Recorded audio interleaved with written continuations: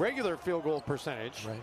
Timberwolves should have had more points off turnovers, Jim. They turned the Lakers over 13 times. Anthony Edwards able to get the Wolves back in front.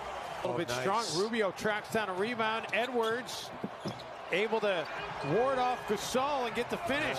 Uh, Ant has LeBron on him. Edwards for the three. And you know, that's a big moment for the rookie to hit a three with LeBron guarding him. he will always remember that moment.